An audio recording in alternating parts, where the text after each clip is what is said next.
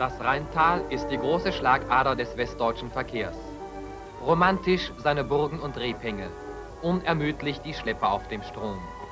Sie bringen Kohle und Koks von der Ruhr. Ihr Ziel? Die badische Anilin- und Sodafabrik in Ludwigshafen am Rhein. Seit mehr als 85 Jahren der Ausgangspunkt weltweiter Erfindungen. Da sind künstliche Farbstoffe, Stickstoffdüngemittel, sonstige Erzeugnisse der Hochdrucksynthese und zahlreiche moderne Kunststoffe. Sie alle sind der Welt von Ludwigshafen geschenkt worden. Über sechs Kilometer zieht sich das Werk am Strom entlang.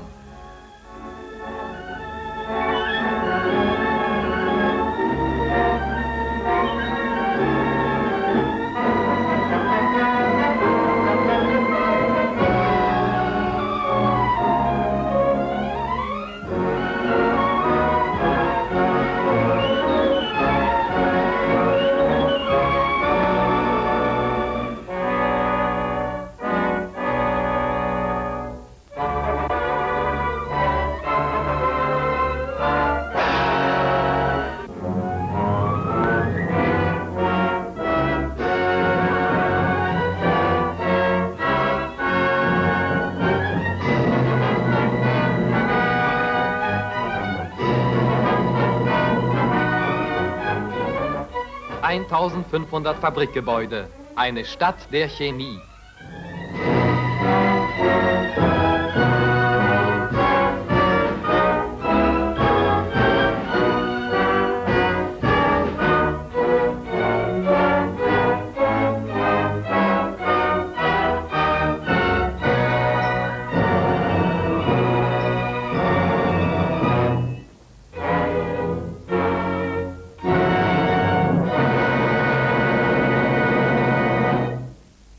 Drei Kraftwerke versorgen die BASF Tag und Nacht mit Dampf und Strom.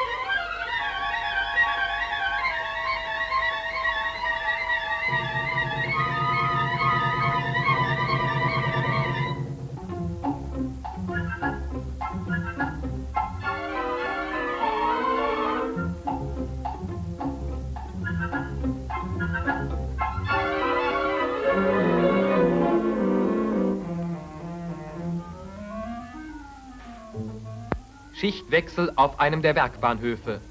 26.000 Menschen gehören zur Belegschaft der BASF.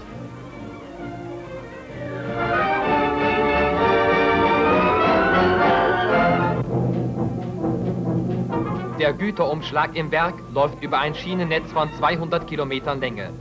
Rund eine Million Tonnen Rohstoffe müssen jährlich in das Werk hineingebracht werden und eine Million Tonnen gehen als Erzeugnisse wieder hinaus.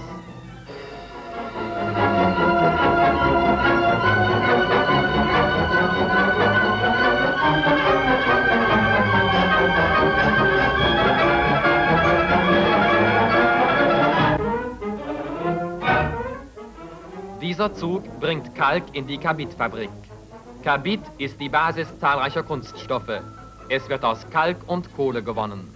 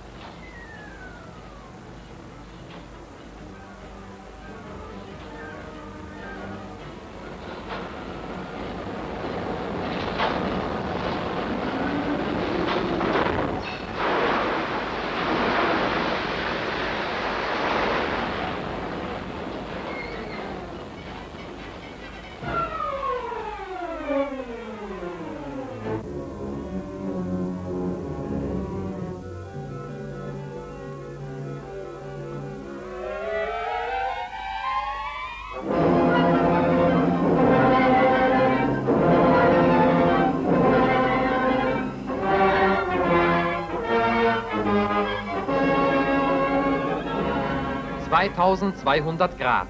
Das ist die Temperatur im elektrischen Ofen. Die Kabitfabrik allein verbraucht in einer einzigen Stunde so viel Strom wie ein Haushalt in 100 Jahren. Alle Viertelstunden öffnet die Elektrode den Abstichkanal.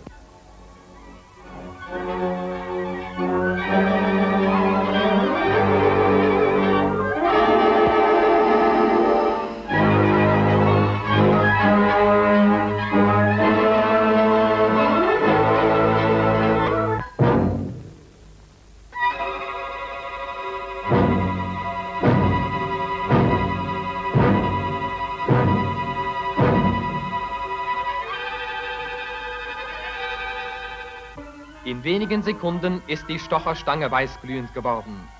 Das flüssige Kabit ergießt sich in die Kühltrommeln und wandert von dort zur Vergasung.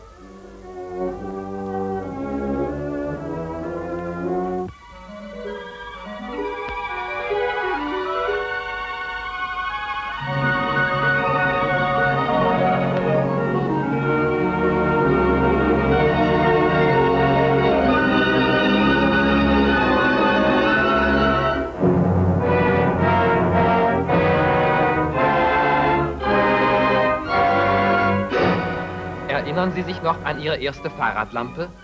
Ein paar Tropfen Wasser zum Kabit und wir haben Acetylengas. Hier geschieht dasselbe im Großen. Aber die Chemiker haben noch andere Pläne. Aus Acetylen und Wasserstoff gewinnen sie Ethylen. Es wird durch Tiefkühlung gereinigt. Dazu sind Temperaturen von 100 Grad unter Null erforderlich.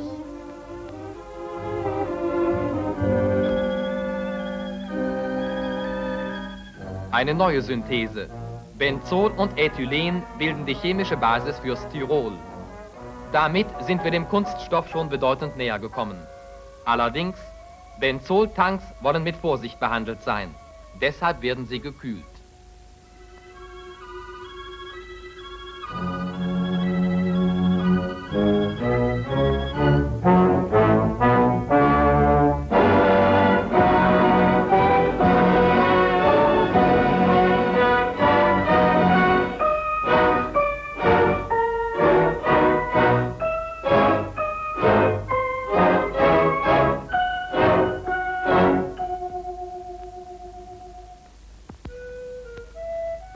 Werfen wir nun einen Blick in das Laboratorium.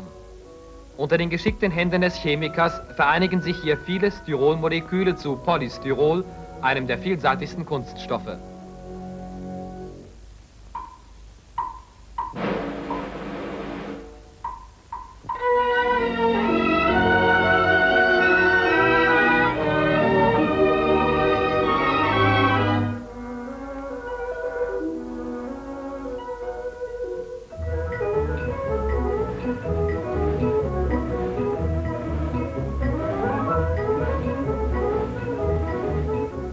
Was wir eben im Reagenzglas verfolgen konnten, wird nun im Großen ausgeführt.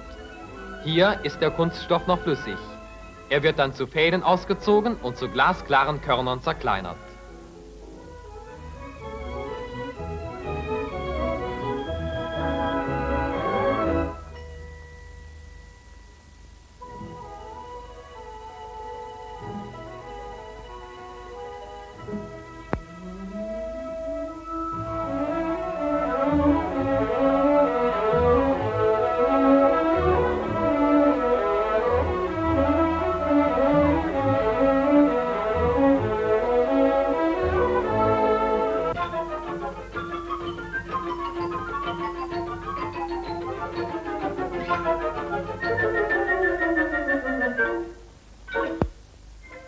Polystyrol lässt sich ohne weiteres färben und auf einfache Weise zu den verschiedensten Gegenständen des täglichen Bedarfs verarbeiten.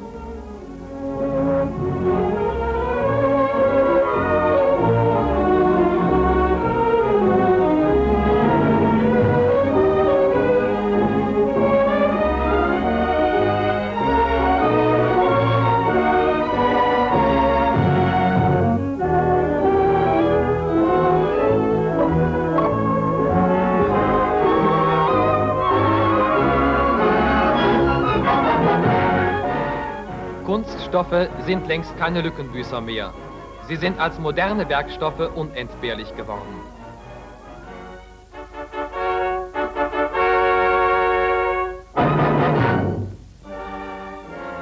Die Indantrenstraße bringt uns in den Teil des Werkes, in dem die unübertroffen Licht-, Wasch- und wetterechten Indantren-Farbstoffe hergestellt werden.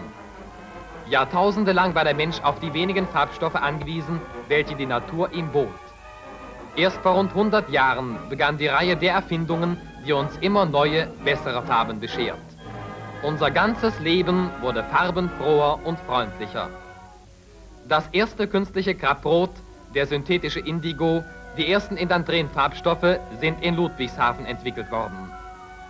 Moderne Farbstoffe aber sind komplizierte chemische Gebilde.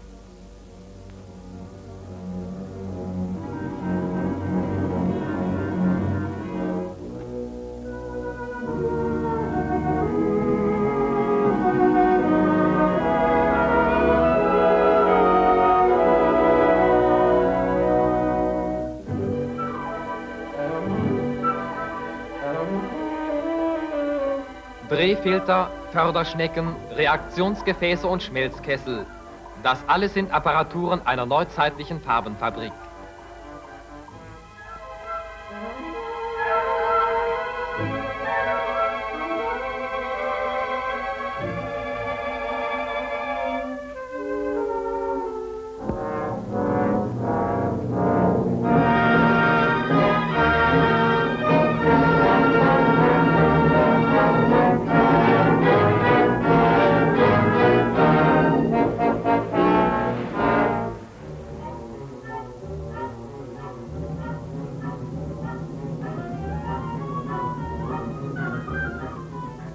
Nun eine Probe für die Versuchsfärberei.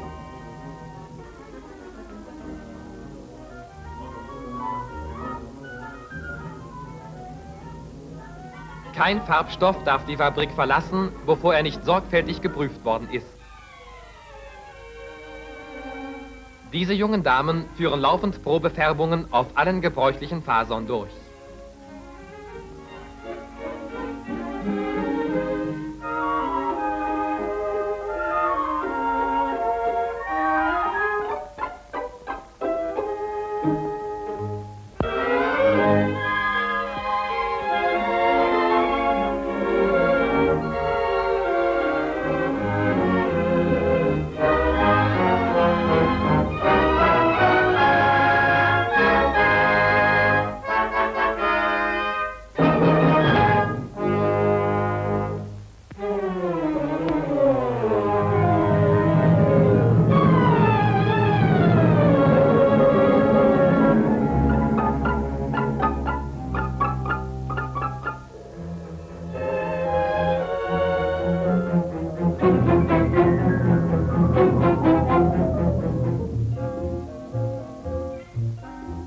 Deutsche Farbstoffe sind ein begehrter Exportartikel.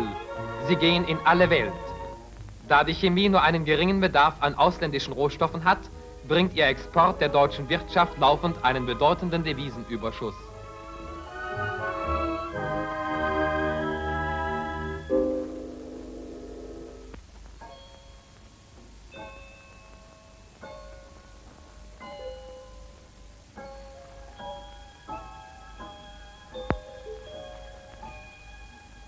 Stillstand ist Rückgang. Für keine Industrie gilt diese Erkenntnis mehr als für die Chemie.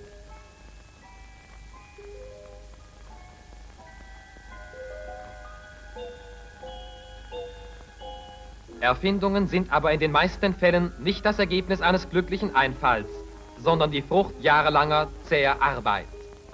Die modernen Laboratorien arbeiten mit komplizierten Apparaturen. Sie sind das Werk geschickter Glasbläser.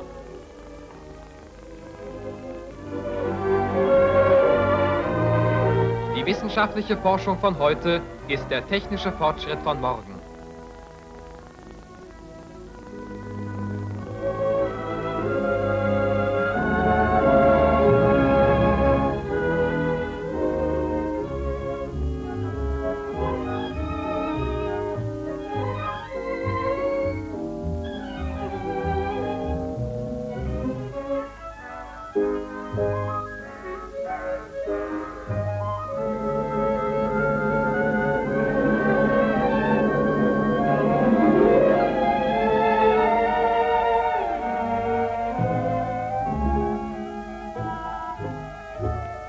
Dem Versuch im Glaskolben und der Fabrikation liegen Jahre der Entwicklung.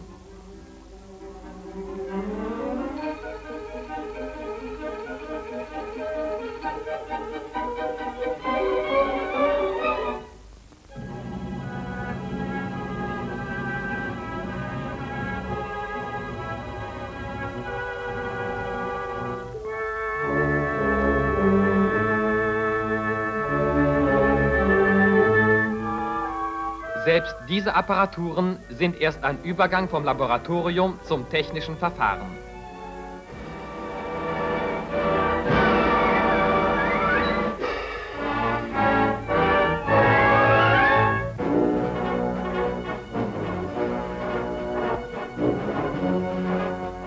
So sieht dann die Großproduktion aus. Denken Sie dabei noch an Ihre Fahrradlampe? Und doch geht es auch hier um Acetylen, das in diesen Hochdruckanlagen weiterverarbeitet wird, ihrer heutigen Bedeutung entwickelt.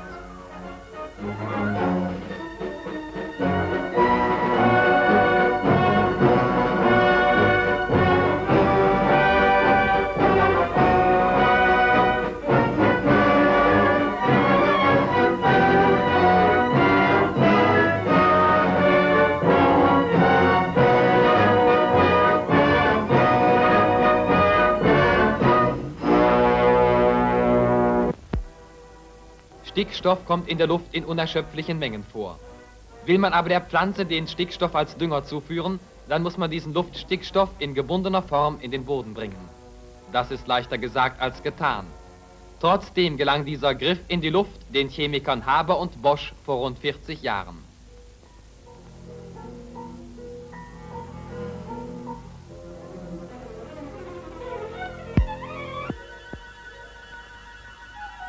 Achtung, ihr Hut!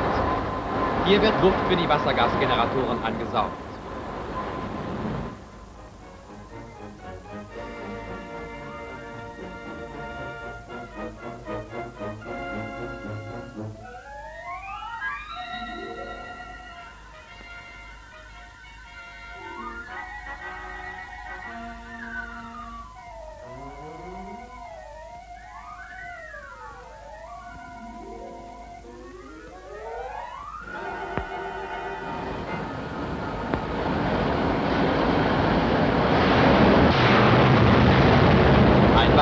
Wassergasgenerator wird heiß geblasen. Abwechselnd streichen Luft und Wasserdampf über glühenden Koks. So gewinnt man das Ausgangsgas für die Ammoniakerzeugung.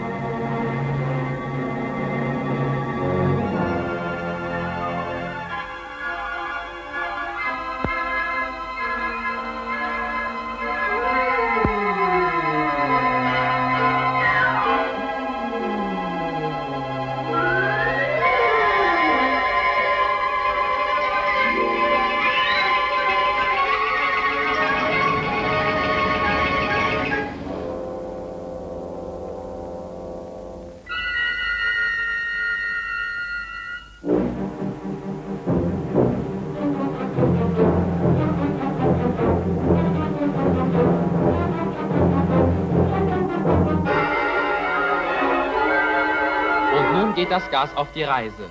Durch gewaltige Rohrsysteme und viele Stufen der Reinigung bis zur Ammoniaksynthese. Ständig werden Proben entnommen und analysiert.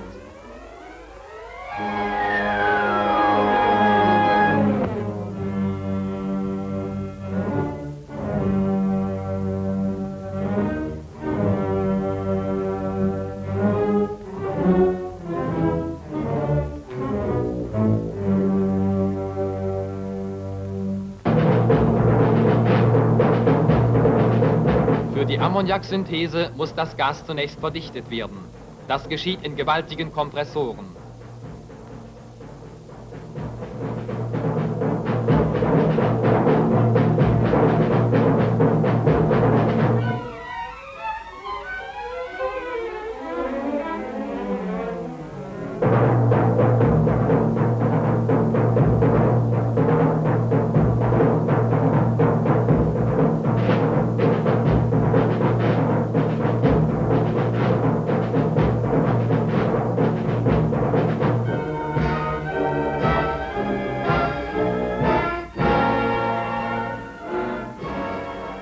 Kompressoren bringen das Synthesegas auf einen Druck von 300 Atmosphären.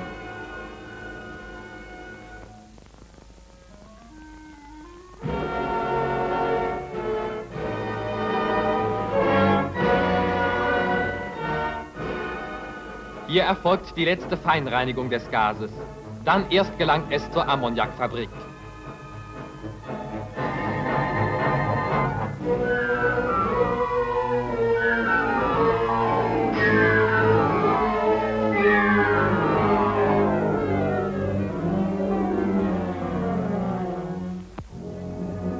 Hoher Druck und hohe Temperatur erfordern die Konstruktion besonderer Anlagen.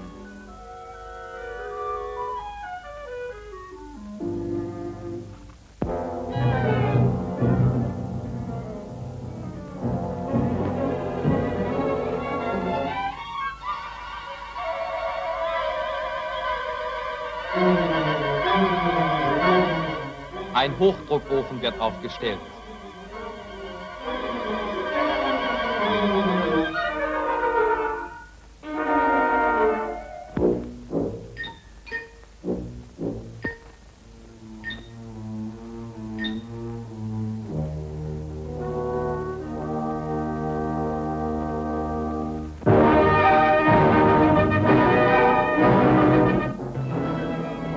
Ammoniakfabrik. Sie ist das Herz der Stickstoffbetriebe.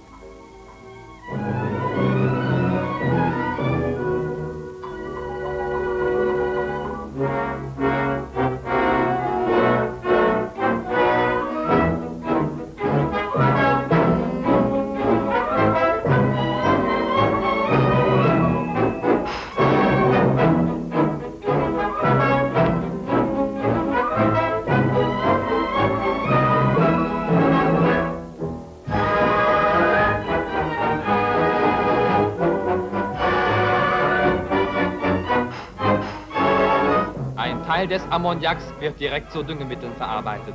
Ein anderer Teil zunächst in Salpetersäure umgewandelt.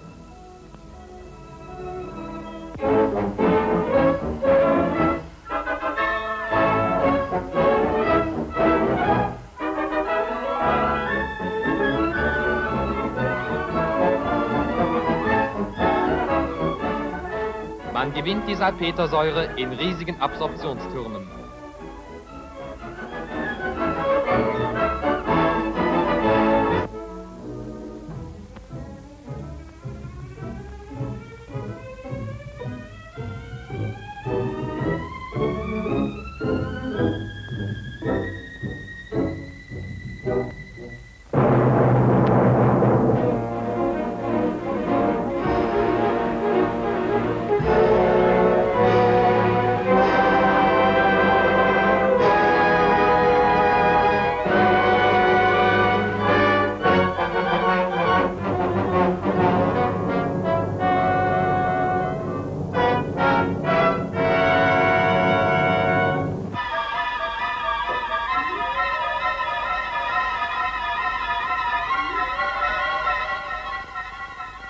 Aus salpetersaurem Ammoniak und gemahlenem Kalkstein wird Kalkammonsalpeter hergestellt. Kalkammonsalpeter ist eines der gebräuchlichsten Düngemittel.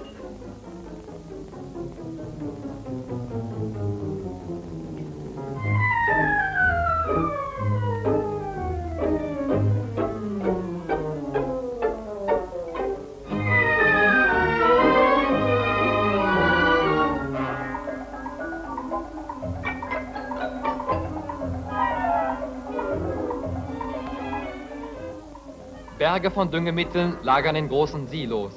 In diesem allein 60.000 Tonnen. Die in Ludwigshafen entwickelte Ammoniaksynthese wird heute in der ganzen Welt angewandt. Der Griff in die Luft wurde zur stärksten Waffe im Kampf gegen den Hunger einer unaufhaltsam wachsenden Menschheit.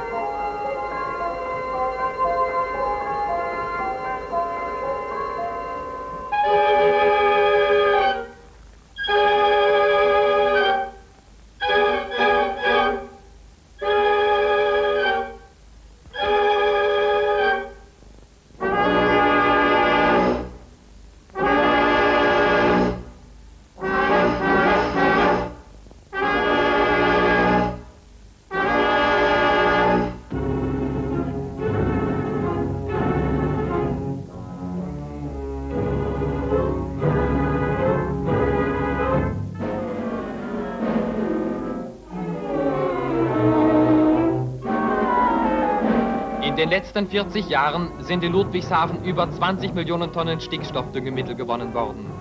Das bedeutet auf ein volles Jahr Brot für 700 Millionen, für ein Drittel der Menschheit.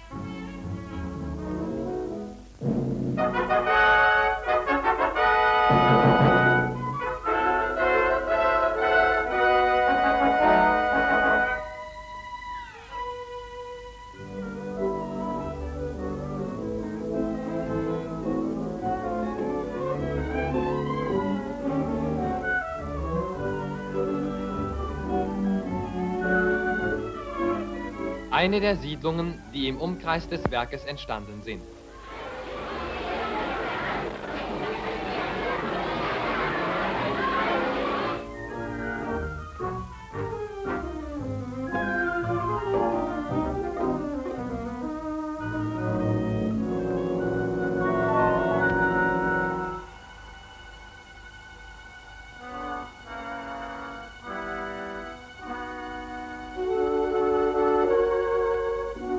Fünfundachtzig Jahre Werkgeschichte. Die BASF, wie sie war und wie sie wurde.